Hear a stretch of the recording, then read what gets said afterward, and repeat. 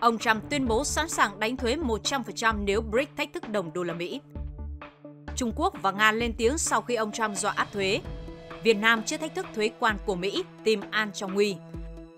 Mối quan hệ giữa Mỹ và BRICS sẽ thay đổi như thế nào khi Tổng thống Donald Trump đe dọa áp mức thuế 100% đối với hàng hóa của các nước thuộc khối BRICS? Biên tập viên Nga Vũ xin kính chào quý vị và các bạn đã quay trở lại với chương trình Bình luận quốc tế. Thưa quý vị, Tổng thống Donald Trump mới đây đã gây chú ý khi đe dọa áp thuế 100% đối với hàng hóa từ khối BRICS nếu họ thách thức sự thống trị của đồng đô la Mỹ. Tuyên bố này phản ánh lập trường bảo hộ lâu dài của ông và chiến lược sử dụng sức ép kinh tế như đòn bẩy trong quan hệ quốc tế. Chính sách này sẽ ảnh hưởng thế nào đến nền kinh tế toàn cầu và quan hệ của Mỹ với các nền kinh tế mới nổi? Các nước liên quan sẽ có những động thái đối phó như thế nào? Xin mời quý vị cùng theo dõi một phóng sự ngắn ngay sau đây của chúng tôi trước khi đi vào bình luận. Tổng thống đắc cử Mỹ Donald Trump ngày 30 tháng 11 đã cảnh báo sẽ áp thuế 100% đối với các quốc gia thuộc các nhóm nền kinh tế mới nổi đang phát triển BRICS và các quốc gia liên quan khác nếu họ làm suy yếu đồng đô la Mỹ. Cụ thể, các quốc gia phải đối mặt với lời đe dọa từ Tổng thống đắc cử Mỹ, bao gồm Brazil, Nga, Ấn Độ, Trung Quốc, Nam Phi, Ai Cập, Ethiopia, Iran và các tiểu vương quốc Ả Rập Thống Nhất UAE. Trong bài đăng trên mạng xã hội Truth Social, ông Trump nêu rõ, chúng tôi yêu cầu các quốc gia này cam kết sẽ không tạo ra một loại tiền tệ BRIC mới, cũng không ủng hộ bất kỳ loại tiền tệ nào khác để thay thế đồng đô la Mỹ. Nếu không, nhóm quốc gia này sẽ phải đối mặt với mức thuế quan 100%. Tuyên bố của Tổng thống đắc cử Mỹ đưa ra trong bối cảnh trước đó tại hội nghị thượng đỉnh BRIC hồi tháng 10, Nga đã thúc đẩy việc tạo ra một hệ thống thanh toán mới, giao dịch bằng các loại tiền tệ không phải đô la Mỹ, một quá trình được gọi là phi đô la hóa. Với việc BRIC ngày càng chiếm tỷ trọng lớn trong nền kinh tế thế giới, một hệ thống như vậy có thể ảnh hưởng tới sự thống trị của đồng đô la Mỹ trong các giao dịch và trao đổi quốc tế.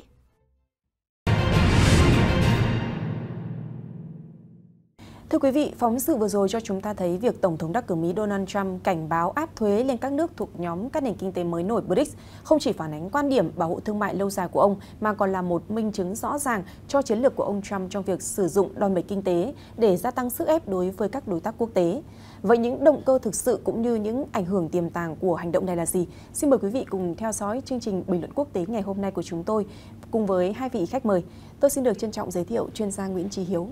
Xin kính chào quý vị khán giả đang theo dõi chương trình Bình luận quốc tế. Ông là chuyên gia kinh tế tài chính, Viện trưởng Viện Nghiên cứu và Phát triển Thị trường Tài chính Bất động sản Toàn cầu. Tiến sĩ Nguyễn Trí Hiếu. Tôi xin được trân trọng giới thiệu chuyên gia Lưu Văn Vinh. Xin chào tất cả các bạn. Ông là chuyên gia có nhiều năm nghiên cứu về các vấn đề quốc tế, Thạc sĩ Lưu Văn Vinh. Cảm ơn hai vị ờ, chuyên gia đã nhận lời mời tham gia chương trình của chúng tôi ngày hôm nay. Thưa hai vị chuyên gia, lời đe dọa áp thuế 100% lên các quốc gia không sử dụng đồng đô la Mỹ của ông Trump được nhìn nhận ra sao? Tôi xin phép được hỏi chuyên gia Nguyễn Trí Hiếu. Ông Donald Trump từ lâu rồi vẫn chủ trương với một cái khẩu hiệu Make America Great Again, làm cho nước Mỹ phồn thịnh trở lại. Và trên cái chủ trương đó, cái khẩu hiệu của ông ấy là America First, nước Mỹ trước tiên. Và với cái chủ trương và cái khẩu hiệu đó thì tất cả những cái động thái của tất cả các quốc gia hoặc là các khu vực nào mà chống lại cái vị thế ưu tiên, cái vị thế hàng đầu của nước Mỹ đều được ông Donald Trump xem là thù địch. Và chính vì thế mà ông ta hiện tại đã có những cái tuyên bố là với nhóm BRICS, ông ta có thể, nếu mà nhóm BRICS tiếp tục cái ý đồ mà tạo ra một đồng tiền hoặc dùng một cái đồng tiền nào đó để thay thế cho cái vị trí độc tôn của đô la, thì ông sẽ đánh thuế trên hàng nhập khẩu từ những quốc gia đó vào Mỹ với một cái mức lên tới 100%. Thì chúng ta biết rằng trên cái nhóm BRICS mà nguyên thủy đó thì gồm có 5 quốc gia. Là trong đó có Nga, có Trung Quốc, có Ấn Độ, có Brazil và South Africa, Nam Phi. Sau này thì một số những quốc gia cũng đã tham gia và ngay cả Việt Nam cũng đã được mời tham gia vào nhóm BRICS nhưng mà Việt Nam chưa nhận lời. Thế thì nhóm BRICS trong cái thời gian mấy năm vừa rồi đều có một cái kế hoạch là làm sao tìm một cái đồng tiền để mà thay thế cái vị trí độc tôn của đô la trên không như là ngoại thương trong dự trữ ngoại hối của các quốc gia. Và trong cái hội nghị thượng đỉnh của BRICS cách đây uh, ít lâu thì cũng được vấn đề đó được đưa ra uh, hội nghị. Thế nhưng mà BRICS không đưa đến một cái uh, thỏa thuận về một cái đồng tiền. Và tại thời điểm này thì đồng đô la cũng vẫn giữ một cái vị trí độc tôn. Tôi xin công hiến quý vị một vài con số để nhìn thấy là cái vị trí độc tôn của đồng đô la như thế nào. Nước Mỹ chiếm một cái tỷ trọng cho ngoại thương toàn cầu. Chiếm một cái tỷ trọng thương mại là 9% cho đến 10% tổng thương mại toàn cầu. GDP của Mỹ so với tổng GDP của toàn cầu chiếm một cái tỷ trọng 25% cho tổng GDP của toàn cầu.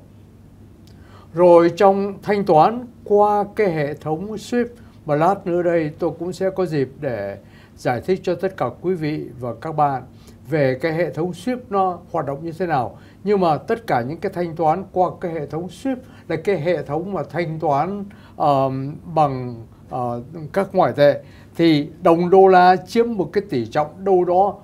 gần 50% trong cái hệ thống thanh toán toàn cầu của SWIFT. Rồi trong các lượng dự trữ ngoại hối của tất cả các ngân hàng trung ương trên thế giới thì các ngân hàng trung ương trên thế giới họ dự trữ vàng, họ dự trữ các ngoại tệ khác, họ dự trữ các trái phiếu chính phủ của rất nhiều quốc gia. Nhưng mà những cái tài sản mà được định nghĩa bằng đồng đô la chiếm đâu đó vào khoảng 60% trong dự trữ ngoại hối của tất cả các ngân hàng trung ương. Và trong tổng số lượng giao dịch toàn cầu mua bán trao đổi không những là xuất nhập khẩu mà uh, uh, uh, thanh toán ngoại tệ đầu tư tỷ trọng của đồng đô la trên giao dịch toàn cầu chiếm một cái tỷ trọng từ 80 cho đến 90 phần trăm thì với những con số như thế thì chúng ta thấy rằng cái vị trí của đồng đô la trong giao dịch toàn cầu từ tài chính đến ngoại thương đến dự trữ quốc gia chiếm một cái tỷ trọng rất lớn. Các quốc gia BRICS đang tìm cách thay đổi đó. Tại vì Nga bị Mỹ cấm vận và rút Nga ra khỏi cái hệ thống thanh toán của SWIFT. Và các nước BRICS đang tìm cách thay thế cái đồng đô la, tìm một cái ngoại tệ khác, trong đó có nhân dân tệ, trong đó có đồng euros thế nhưng mà tất cả những cái kế hoạch đó chưa thành công, và họ vẫn tiếp tục cái cố gắng là tìm một cái ngoại tệ để thay thế cái vị trí độc tôn của đồng US dollars. À, vâng, xin được cảm ơn chuyên gia Nguyễn Trí Hiếu. À, tôi xin phép được hỏi chuyên gia Lưu Văn Vinh rằng à, cái mức thuế 100% có phải là biện pháp để ông Donald Trump nhằm trừng phạt những quốc gia mà ông ấy cho là đang lợi dụng nước Mỹ không ạ? Về câu chuyện của nước Mỹ và câu chuyện của ông Donald Trump thì xoay quanh vấn đề về về áp thuế và đã có thời gian người ta gọi ông Donald Trump là tariff man, có nghĩa là một người đàn ông thuế quan. Có nghĩa là câu chuyện của ông về kinh tế là làm cho nước Mỹ vĩ đại trở lại như chuyên gia uh, Nguyễn Trí đã phân tích. Và một trong những biện pháp để phục hưng kinh tế Mỹ làm cho kinh tế Mỹ tăng trưởng và vẫn giữ cái vị trí hàng đầu của thế giới đó là thuế quan. Ừ, đó là thuế quan. Trong nước thì ông sẽ hạ thuế ờ, hạ thuế ờ, thu nhập với các các doanh nghiệp đặc biệt với các doanh nghiệp lớn. Đấy, như giáo sư uh, Terry Buss đã cho rằng là cái việc hạ thuế các doanh nghiệp lớn là hết sức quan trọng. Tại sao? Chỉ các doanh nghiệp lớn mới có điều kiện đưa những khoản tiền khổng lồ cho nghiên cứu và phát triển. Và từ nghiên cứu phát triển thì nước Mỹ với tạo ra một những cái nền tảng mà bây giờ chúng ta đang sử dụng như Google như là uh, điện thoại Apple hay các những phương tiện uh, mà trên trên cái cái cái công nghệ thông tin khác. Đấy, thế thì uh, đối với trong nước là như vậy thì ngược lại đối với Ừ, thế giới phần còn lại của thế giới thì ông tăng thuế và nếu nói một cách hình ảnh thì ông có thể phát động một cuộc chiến thương mại toàn cầu kể cả châu Âu kể cả uh, Trung Quốc kể cả đồng minh thân thiết như Nhật Bản như Hàn Quốc và kể cả uh, Canada và Mexico đều nằm trong cái vòng xoáy uh, chiến tranh thuế quan đối với ông Donald Trump. Đấy. Thế thì chúng ta phải hiểu rằng là ừ, về động cơ Ừ, mục đích của ông là gì? Tăng thuế nhập khẩu ờ, thứ nhất ờ, đó là đảm bảo cái tiêu thụ ờ, sản xuất trong nước. Cái điều thứ hai là có thể là kích thích cái việc đầu tư nước ngoài, mở doanh nghiệp tại tại Mỹ và cái điều thứ ba, chắc chắn đó là tăng thu tăng thu ngân sách để bù đắp những cái khoản mà mà mà thâm hụt ngân sách mà nước Mỹ là một quốc gia coi như là vô địch thế giới về ngân thâm hụt ngân sách. Mỗi hàng năm thì cái sự thâm hụt đó rơi vào khoảng độ 2.000 tỷ đô. Đấy, ví dụ như là trong cái diễn biến mới nhất thì ờ, ngân sách Mỹ khoảng độ là ờ, 6.700 tỷ thì ờ, cái nhóm ekip của ông Elon Musk thì đã muốn rằng là giảm cái thâm hụt, giảm cái chi tiêu để cắt giảm ở mức độ có khoảng, có thể mạnh tay đến 2.000 tỷ đô. Thì đấy đấy là cái điều tiếp theo. Và không chỉ về vấn đề kinh tế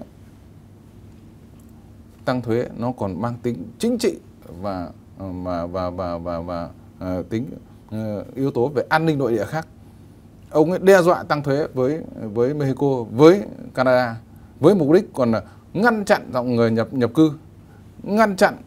cái hoạt động tội phạm theo góc nhìn của ông Donald Trump. Đấy. Thế thì có nghĩa là việc tăng thuế của ông Donald Trump thỏa mãn không chỉ cái yêu, yêu cầu về kinh tế và còn cả cái yêu cầu về chính trị, yêu cầu về đối ngoại và yêu cầu về an ninh nội địa. Thì ờ, chúng ta đã hiểu ừ, là cái việc tăng thuế này của ông đó có thể một có thể là làm một cái thông điệp lớn nhất của ông Donald Trump từ trước tới nay nhưng tuy nhiên, cũng, đây cũng có thể là một ván bài mà cả, chứ không phải là tất cả đều y chang ờ, người ta truyền tải một cái thông điệp như thế nhưng mà cái việc thực chất thì sẽ là phụ thuộc vào đàm phán song phương và chắc chắn rằng không phải quốc gia nào cũng chịu một cái mức thuế mà chúng ta gọi là cái thuế cao ngất ngưởng như vậy được. Và chắc chắn sẽ có đàm phán, chắc chắn sẽ có thỏa hiệp. Và phần lợi thế chắc chắn là sẽ thuộc về Mỹ, thuộc về ông ông Donald Trump. Và cái cái thông điệp tiếp theo nữa thì chúng ta phải hiểu. Đến thời điểm này, mặc dù nước Mỹ suy yếu trên trên toàn thế giới, nhưng sức mạnh của nước Mỹ thời điểm hiện nay không phải là quân đội mà sức mạnh của nước Mỹ là đồng đô la Mỹ. Đồng đô la Mỹ lan tỏa đến hơn 200 quốc gia vùng lãnh thổ trên thế giới nhưng quân đội Mỹ có thể đến được 200 quốc gia vùng lãnh thổ đâu. Thế thì dưới góc độ nghiên cứu của tôi và tôi đã rất nhiều lần phân tích sức mạnh của nước Mỹ thời điểm này là sức mạnh của đồng đô la Đấy, và ông Donald Trump ờ, dưới dưới dưới quyền của ờ, của ông Donald Trump thì cái sức mạnh đó có thể sẽ còn nhân lên gấp nhiều lần. Ờ, cho phép tôi bổ sung về cái ý nghĩa của đánh thuế 100% trên hàng nhập khẩu từ các quốc gia BRICS, nó ảnh hưởng như thế nào. Một cách cụ thể, một hàng hóa chẳng hạn như nhập khẩu từ một trong những cái quốc gia BRICS, chẳng hạn như Ấn Độ hoặc là Nga hoặc là Trung Quốc vào Mỹ Nga thì hiện tại là Mỹ không bị cấm vận rồi, Mỹ không mua hàng của Nga thế nhưng mà từ Nam Phi từ Brazil từ Trung Quốc um, uh, và từ Ấn Độ thì hàng nếu mà cái trị giá của hàng là 100 đô la. Mà ông Trump ông ấy áp thuế 100% trên cái hàng nhập khẩu từ uh, thuế quan lên một ừ, trên cái hàng đó thì cái giá mà cái người tiêu thụ ở Mỹ họ phải trả là ngoài những cái thuế khác ở trong nội địa họ phải trả là 200 đô la tức là gấp đôi cái giá mà nhập khẩu thế thì khi mà người Mỹ mua một cái món hàng đó với giá 200 đô la, thì cái đầu tiên là nó ảnh hưởng tới lạm phát của Mỹ lạm phát của Mỹ sẽ tăng rất mạnh, tại vì giá cả cũng cái kiểu mà té nước theo mưa là tất cả những hàng hóa khác, theo cái độ tăng của hàng hóa từ Trung Quốc cũng đẩy giá lên và nó tăng cái lạm phát. Và cái điều thứ hai quan trọng nữa là người Mỹ như trong cái thời gian mà vừa qua trong cái cuộc tranh cử của Donald Trump, ông Donald Trump ông ấy thắng cử một phần là do người Mỹ cảm thấy rằng tài sản của họ bị mất đi quá nhiều do cái vấn đề lạm phát. Họ phải chịu cái mức lạm phát quá lớn và từ đó họ bầu cho ông ấy. Thế thì nếu mà ông ấy trở lại với một cái chính sách mà làm tăng lạm phát lên thì có thể nó sẽ tạo ra một cái sự biến động về tình hình chính trị ở Mỹ. Nhưng mà cái đầu tiên đó là làm tăng lạm phát và cái đó là người dân Mỹ phải chịu. Thế thì với các nước mà uh, bị áp cái uh, uh, thuế quan 100% chắc chắn là nó sẽ có giảm cái vấn đề giảm cái số lượng mà nhập khẩu vào Mỹ và trong đó nếu mà ông ấy không những áp cho các nước um, BRICS mà có thể áp um, cái thuế quan nó cao cho các nước mà có nhập siêu vào Mỹ trong đó có Việt Nam thì hàng hóa của Việt Nam có thể sẽ trở nên rất đắt đỏ tại Mỹ và từ đó có thể giảm cái lượng xuất khẩu. Thành ra uh, nói một cách cụ thể là cái việc mà tăng thuế như thế thì nó ảnh hưởng tới kinh tế của Mỹ đến túi tiền của người dân của Mỹ. Và tôi nghĩ rằng trước nhất đó là một cái lời đe dọa đó. Liệu rằng cái lời đe dọa đó có thực hiện được hay không là một cái vấn đề khác. Thế nhưng mà đối với ông Donald Trump là cái người mà rất là khó đoán định. Thì tôi nghĩ rằng có lẽ nếu mà ông ấy không tăng 100% thì có thể ông ấy sẽ tăng ở một cái mức mà có thể thấp hơn, nhưng mà cũng rất rất cao so với các nước khác. Vâng, à, xin được cảm ơn chuyên gia Nguyễn Trí Hiếu đã bổ sung. À, thưa chuyên gia Nguyễn Trí Hiếu, ừ, quay trở lại với vấn đề BRICS thì BRICS coi mình là đối trọng với các hệ thống tài chính và chính trị do phương Tây chi phối, đặc biệt là qua nỗ lực như tạo đồng tiền BRICS và thúc đẩy thương mại phi đô la hóa. Vậy thì liệu đây có phải là một mối đe dọa đối với Mỹ không ạ? Chắc chắn nó là một cái đe dọa cho nước Mỹ và ừ, chúng ta biết rằng Mỹ là quốc gia mà GDP uh, lớn nhất trên thế giới và sau đó là đến Trung Quốc. Thế nhưng mà tại sao người ta vẫn tin tưởng ở đồng Mỹ? Có lẽ cái sự tin tưởng vào đồng bạc của Mỹ nó được dựa trên cái hệ thống chính trị, xã hội và kinh tế của Mỹ là cái quốc gia ổn định nhất toàn cầu. Cái sự phát triển của kinh tế Mỹ nó trở thành một cái mô hình phát triển của toàn cầu và không những Mỹ, về cái mô hình phát triển của họ nó là một cái nước theo tư bản chủ nghĩa, nó phù hợp với một nền kinh tế thị trường, mà xứ Mỹ là cái xứ mà rất nhiều những cái tài nguyên. Khi mà tôi sống ở Mỹ, tôi mới nhìn thấy được là xứ Mỹ cái gì nó cũng có cả.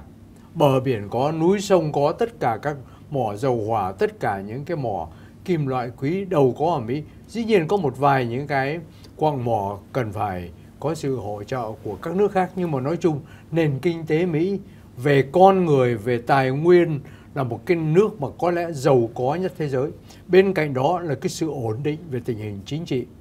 Thì với sự ổn định đó, với cái tài nguyên đó, đồng đô la là cái đồng mà được cả một cái hệ thống chính trị và kinh tế bảo vệ. Ngày xưa thì đồng đô la được bảo vệ bằng số vàng.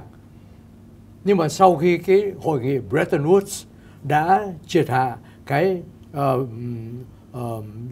giá trị của vàng như là cái um, bảo đảm cho đồng đô la thì cái nền kinh tế của Mỹ bảo đảm cho cái sự vững mạnh và giá trị của đồng đô la thì tại thời điểm này chưa có một quốc gia nào có thể thay thế Mỹ ở trong cái ờ, vai trò đó. Nền kinh tế của Trung Quốc là nền kinh tế đứng thứ hai toàn cầu. Thế nhưng mà cả thế giới chưa xem nền kinh tế của Trung Quốc như là cái mô hình phát triển cho toàn cầu. Và cái thể chế chính trị của Trung Quốc cũng không phải là cái thể chế chính trị mà được cả thế giới hâm mộ. Và chính vì thế mà đồng đô la với tất cả những cái mà đứng đằng sau nó, bảo vệ nó, vẫn trở nên một cái đồng mà có cái vị thế. Thì tôi nghĩ rằng trong thời gian sắp tới, có thể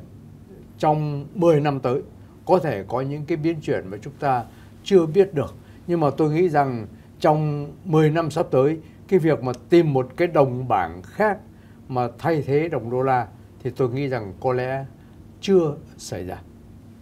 Vâng, ờ, thưa chuyên gia Lưu Văn Vinh, chuyên gia Nguyễn Trí Hiếu vừa có nhắc đến yếu tố Trung Quốc. Vậy thì ờ, theo chuyên gia việc áp thuế đối với tất cả các thành viên BRICS có phải là để nhằm kiềm chế sức mạnh kinh tế của Trung Quốc không ạ?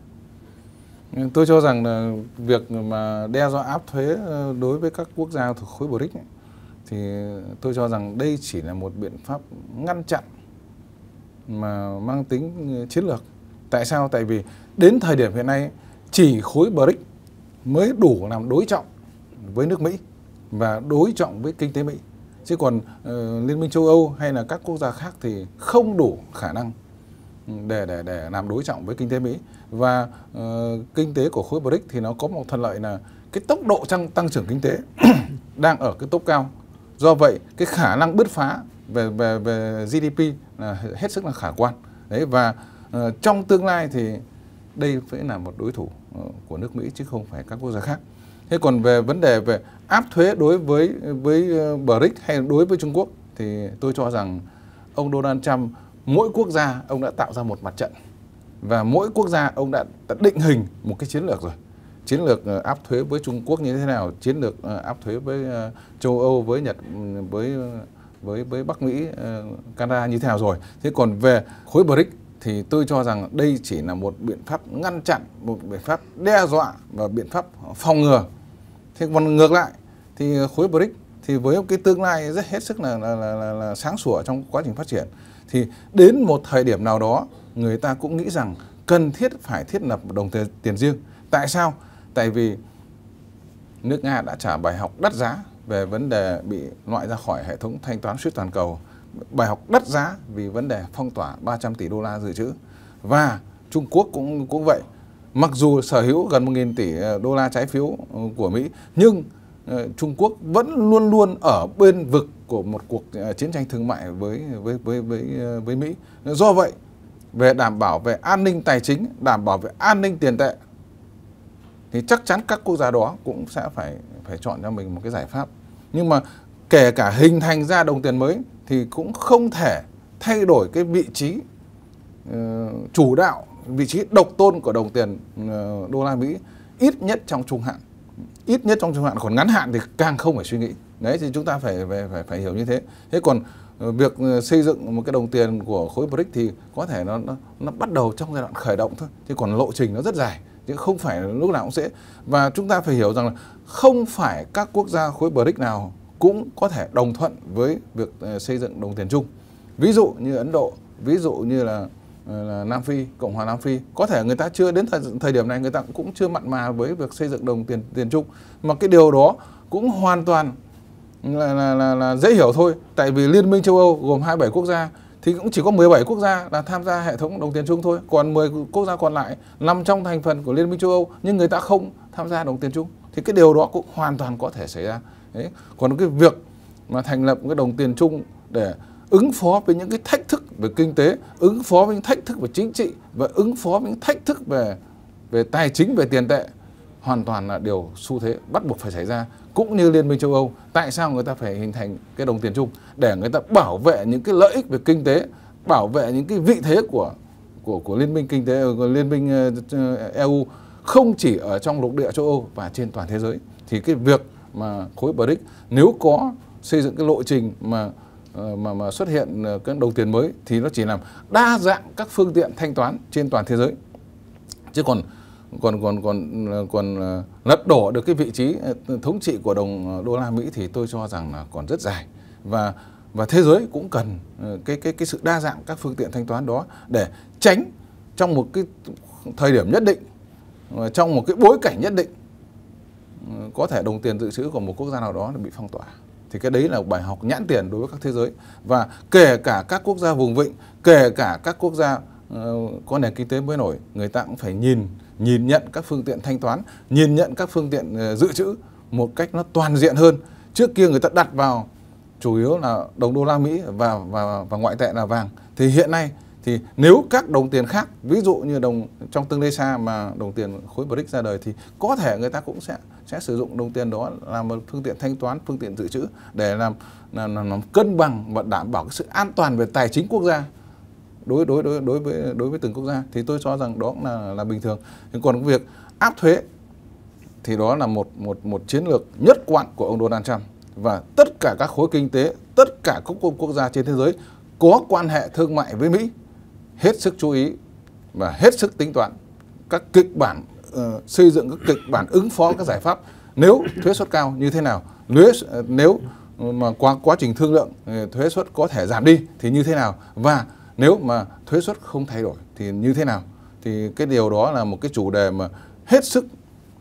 là hấp dẫn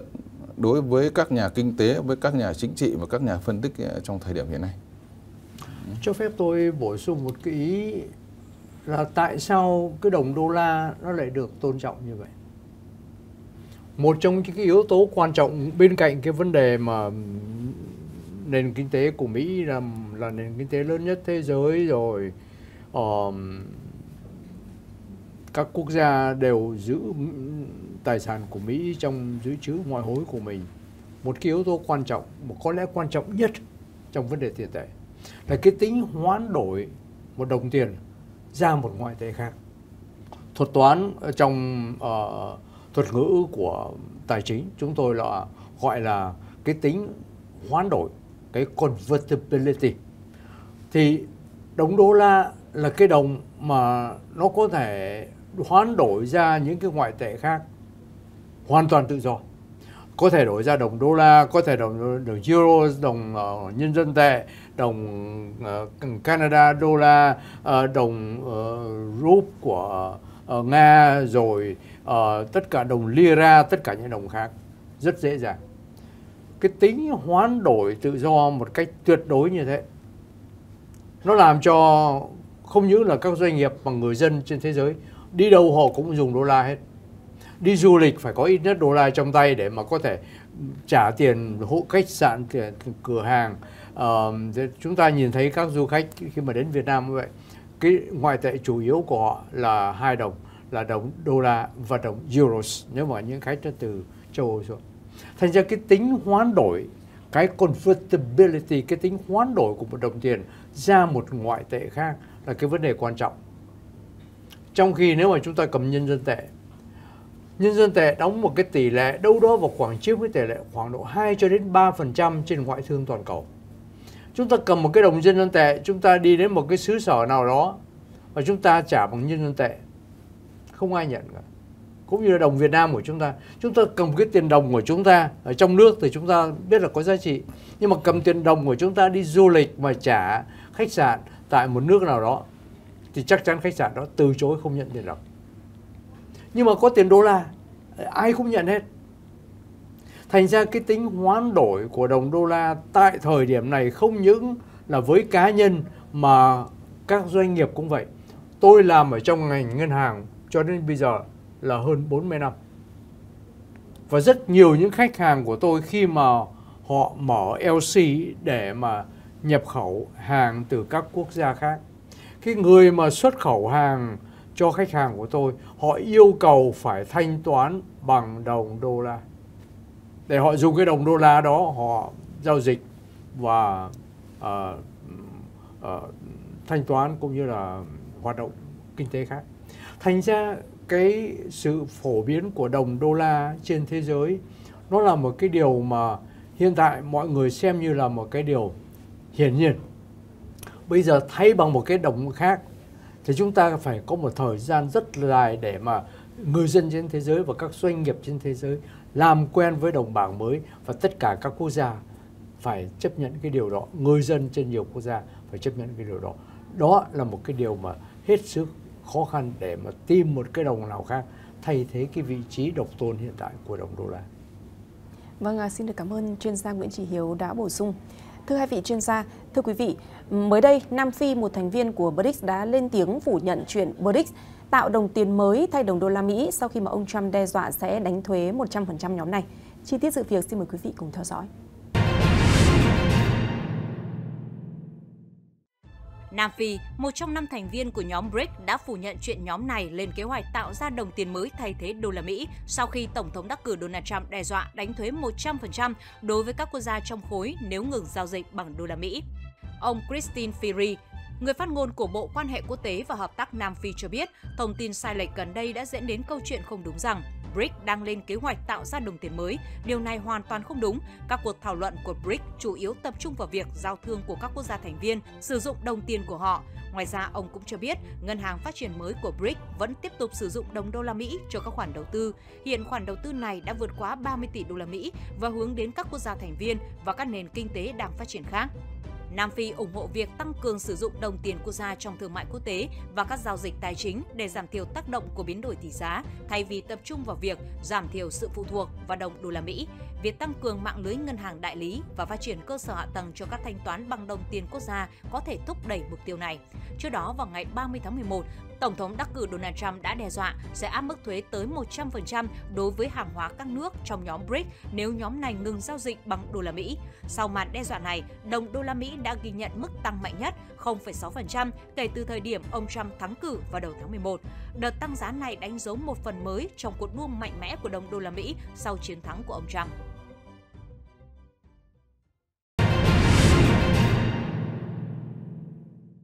À, vâng thưa hai vị chuyên gia, ờ, có khả năng BRICS sẽ thay thế đồng đô la trong ờ, thương mại quốc tế hay không? Và nếu như có thì động thái của Mỹ để ngăn chặn nguy cơ này là gì ạ? Tôi xin phép ờ, được hỏi chuyên gia Lưu Văn Vinh.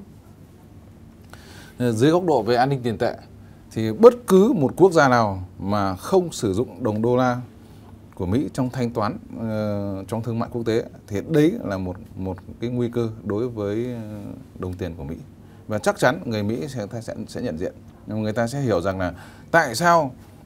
người Trung Quốc lại mua dầu mỏ của Ả Rập Xê Út mà lại thanh toán bằng đồng nhân dân tệ? Không đi qua cái hệ thống thanh toán uh, bằng đô la của Mỹ của của của của của, của Mỹ. Thì uh, với khách hàng lớn như vậy thì không chỉ uh, đầu tiên là mặt hàng dầu mỏ và dần dần rất nhiều mặt hàng khác có thể thanh toán không bằng đô la Mỹ bằng các ngoại tệ khác hoặc bằng chính đồng nhân dân tệ, thì đấy, nếu nói dưới góc độ về an ninh tiền tệ thì đấy là một nguy cơ đối với đồng tiền. Ừ, tại sao? Tại vì một đối thủ lớn nhất và có khả năng cạnh tranh với vị trí ngôi vị số 1 của Mỹ trong tương lai mà bắt đầu thực hiện cái tiến trình phi đô la, chứ tôi không thích dùng cái từ phi đô la hóa, mà tôi dùng cái tiến, dùng cái từ là phi đô la, thì đấy là một cái điều ừ, không có lợi. Và như tôi nhắc lại, sức mạnh của nước Mỹ là sức mạnh của đồng đô la và khi đồng đô la đã bị ngăn cản, đã bị ờ, bị thu hẹp một cái phạm vi sử dụng, đã bị giảm cái thị phần trên cái tổng thanh toán thế giới mà kể cả đến dự trữ toàn cầu thì đấy là một vấn đề đối với ờ, đối với ờ, nước Mỹ. Tại sao? Thì chúng ta đã biết đến thời điểm hiện nay khoảng 60% dự trữ toàn cầu là sử dụng bằng đồng đô la và 40% thương mại toàn cầu là sử dụng đồng đô la. Nó có một vị trí áp đảo so với các đồng tiền khác, kể cả đồng euro và các đồng tiền khác, ví dụ như là đồng đồng yên Nhật hay là đồng bảng Anh hay là các đồng ngoại tệ khác. Thế thì cái vị trí độc tôn đó dưới góc độ người Mỹ, người ta sẽ không muốn bị bị xâm hại, không không muốn bị ảnh hưởng và chắc chắn người ta sẽ đưa ra rất nhiều giải pháp để để để thực hiện từ cái chính sách về về thuế quan đến chính sách về mặt hàng ừ, coi như là hạn chế. Ví dụ như thời điểm hiện nay thì ờ, nước Mỹ đã ban hành ba cái lệnh cấm giao dịch cái chip bán dẫn ở tiên tiến đối đối với ờ, Trung Quốc với lý do là an ninh quốc gia. Thì có thể đến một thời điểm nào đó khi mà cái cái, cái nguy cơ của đồng đô la Mỹ bị bị bị bị bị đe dọa thì nước Mỹ cũng sẽ đưa ra những cái giải pháp và dưới góc độ về an ninh quốc gia người ta sẽ sẽ sẽ thực hiện. Đấy, và vấn đề về phong tỏa tài khoản vấn đề hạn chế giao dịch ờ, vấn đề đưa ra các các các hạn chế các lệnh cấm các giấy phép và hai là đặc biệt là ngăn cản các quốc gia mà có tư tưởng đó tham gia vào các hệ thống ừ, thanh toán toàn cầu tham gia vào các tổ chức tài chính toàn cầu ví dụ như ngân hàng ờ, thế giới World Bank hay là quỹ tiền tệ quốc tế. Đây là những cái định chế tài chính rất lớn mà đã sử dụng đồng đô, đô la ờ, đô la Mỹ để trong quá trình hoạt động của của mình. Thì chắc chắn người Mỹ sẽ đưa ra một loạt các giải pháp và ờ, và cái giải pháp của người Mỹ thì nó rất khác với người châu Âu là người Mỹ có thể đưa những giải pháp ngay và luôn không cần phải họp nhiều như là ở châu Âu. Thì đấy là một cái đặc tính của người Mỹ. Mà chắc chắn với phong cách của ông Donald Trump thì các kịch bản, các phương án có thể ông sẽ sẽ phải sử dụng ờ, tôi muốn làm rõ hơn cái bối cảnh nếu mà một quốc gia nào đó từ chối không dùng đồng đô la trong giao dịch thương mại, thì Mỹ sẽ có biện pháp như thế nào? Đây là một cái câu hỏi mà tôi tôi đã được hỏi rất nhiều lần. Mỹ sẽ ứng xử như thế nào nếu mà một quốc gia nào đó từ chối, không dùng đồng đô la Mỹ. Chúng ta biết rằng trong một quốc gia nó có một số những cái chủ quyền. Cái chủ quyền thứ nhất là chủ quyền về lãnh thổ. Chủ quyền thứ hai là chủ quyền về con người. Cái chủ quyền thứ ba là chủ quyền về pháp luật. Và cái chủ quyền thứ tư là cái chủ quyền về tiền tệ. Một quốc gia có thể phát hành cái đồng tiền. Đồng tiền đó gọi là đồng tiền pháp định. Và tất cả người dân trong quốc gia đó phải tôn trọng cái đồng tiền pháp định đó. Rồi bây giờ nếu mà có một quốc gia nào đó mà từ chối không nhận đồng tiền và trong trường hợp của Mỹ họ từ chối không dùng đồng tiền của Mỹ và trong nhóm BRICS họ có một cái đồng tiền A, B, C nào đó để thay thế đồng tiền đô la và các quốc gia đó hoặc là một trong những quốc gia đó từ chối không dùng đồng đô la trong ngoại thương và chỉ dùng cái đồng tiền đó. Thì cái điều mà xảy ra có thể xảy ra là Mỹ sẽ đe dọa cấm vận quốc gia đó. Tại vì cái việc mà từ chối không sử dụng đồng tiền của một quốc gia có nghĩa là họ phủ nhận cái chủ quyền về tiền tệ của quốc gia đó. Và Mỹ có thể trả trả đũa bằng cách là cấm vận. Mà cái cấm vận đó, nó có một cái tai hại vô cùng là không những chỉ có cái quốc gia mà bán hàng sang Mỹ, mà Mỹ cấm vận không cho quốc gia đó bán hàng vào Mỹ. Nhưng mà tất cả các quốc gia mà quốc gia đó, quốc gia bị cấm vận đó, bán hàng sang các quốc gia khác, mà cái hàng đó đến trở vào Mỹ, thì các quốc gia bên cạnh đó cũng bị ảnh hưởng luôn, tức là cũng bị trừng phạt luôn. Thành ra nó không phải là chỉ ảnh hưởng, tác động đến các quốc gia mà bị cấm vận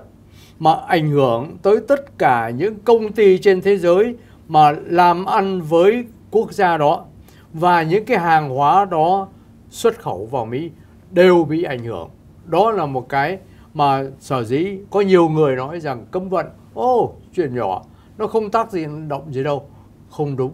Trong cái mấy năm vừa qua khi mà Nga bị Mỹ và châu Âu cấm vận như thế, nó ảnh hưởng tới kinh tế Nga và đưa kinh tế qua vào một cái trường hợp, một cái hiện trạng là thật sự là rất yếu kém về mặt kinh tế so với toàn cầu. Thành ra uh, một quốc gia mà trở lại cái vấn đề nếu mà phủ nhận đồng đô la Mỹ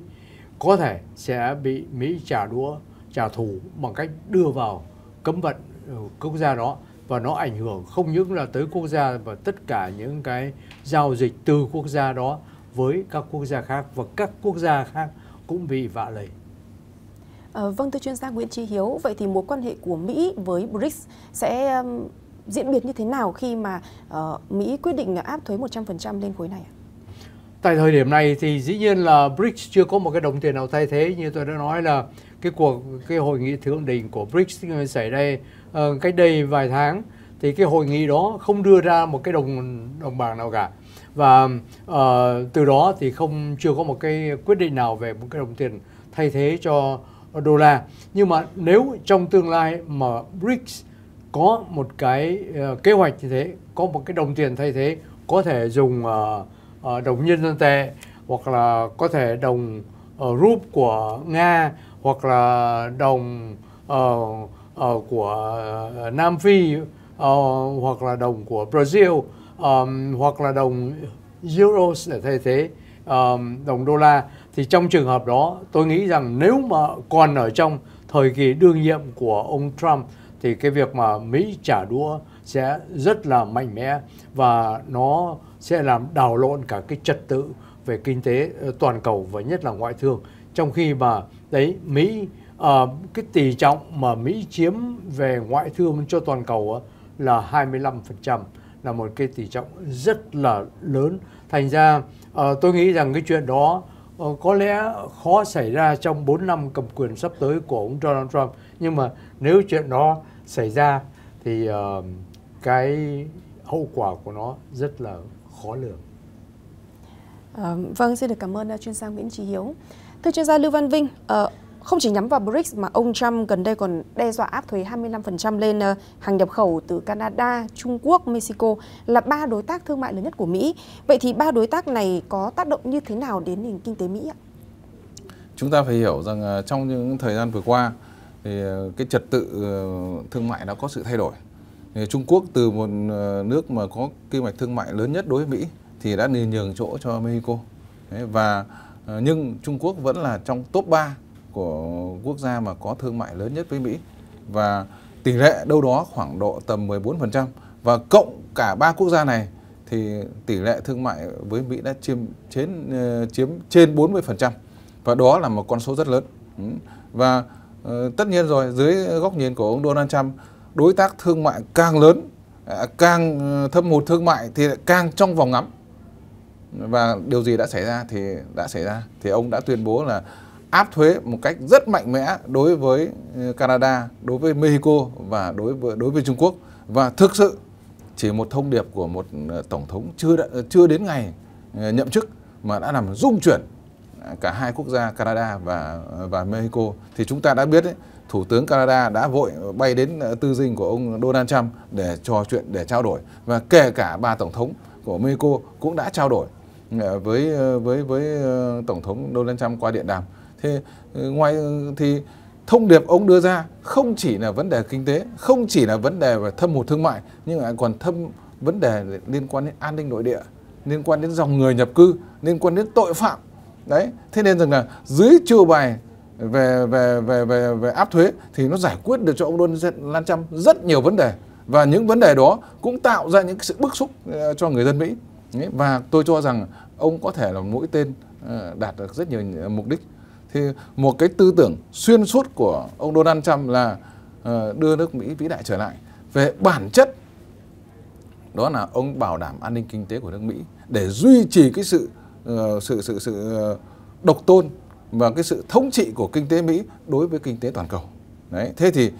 con bài thuế thuế quan là con bài mà có một sức nặng lớn nhất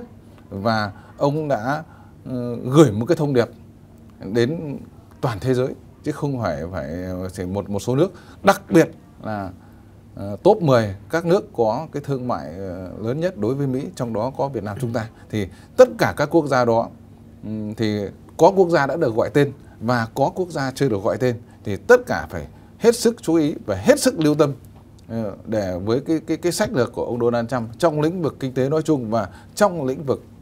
thương mại nói riêng và thuế quan Thế chúng ta đã đã đã đã nghe đâu đó có khả năng sẽ lặp lại chiến tranh thương mại Mỹ Trung. Đấy, cái điều đó cũng hoàn toàn xảy ra. Nhưng mà ông Donald Trump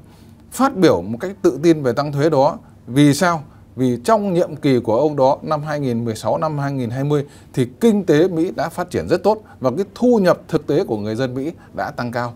Ờ, theo những số liệu không đầy đủ thì thu nhập người dân Mỹ trung bình đã tăng khoảng độ 5.000 đô. Đấy, và GDP đầu người của người dân Mỹ đạt khoảng độ 80.000 đô. Đó là một cái một con số mà áp đảo tuyệt đối